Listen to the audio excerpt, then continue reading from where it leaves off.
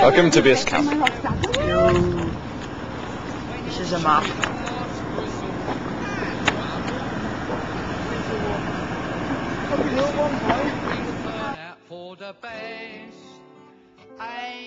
Well, this is us halfway to base camp.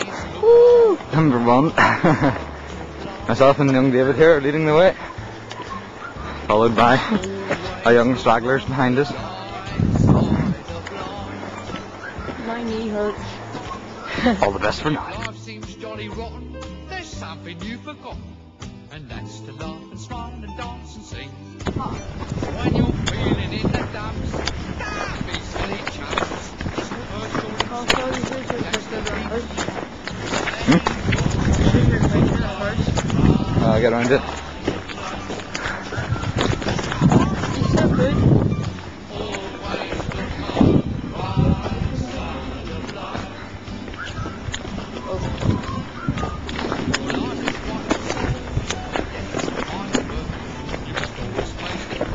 Stage two of our journey.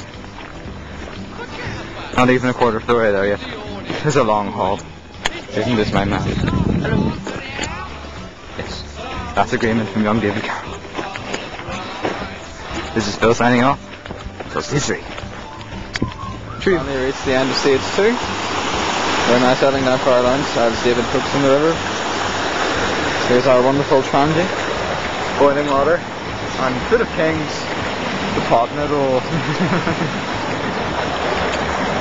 How's the girls are eating their lunch?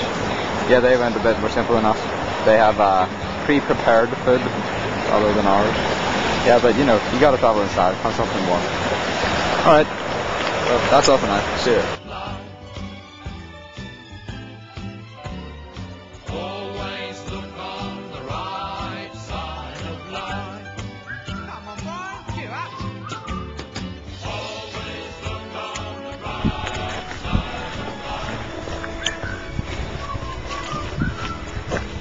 We're now halfway through stage four.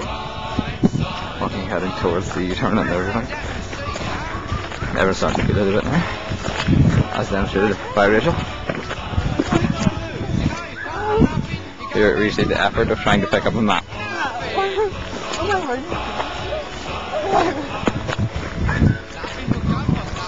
That's all.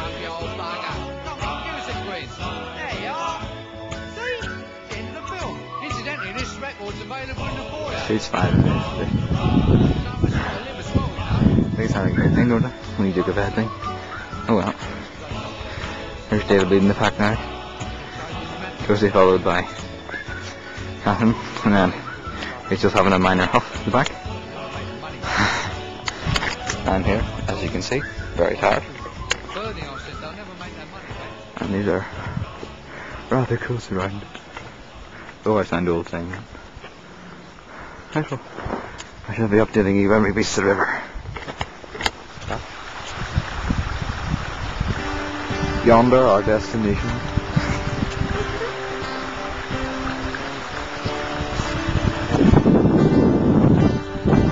If you're gonna be dumb, you gotta Whoa, be lightning. tough. Please be here. Uh huh. This is day two. We are just you woken up. get back up. I'm about to dismantle the camp. Straight ahead of me is Hen Mountain, which we're about to go around the of today, and the path to Spelga. This is the rocky water that we were swimming through last night. Makes plenty of noise. And as you can see, it's been raining very badly. As you can see. Visibility has improved from earlier because you couldn't see like 100, 100 feet from the earlier. That was just deadly. But we're about to dismantle the tent here, so I'll to you later. Oh, that's Teach me how to swallow pride. I took advice no fool would take. I got some habits Day I can't shake. Stage two.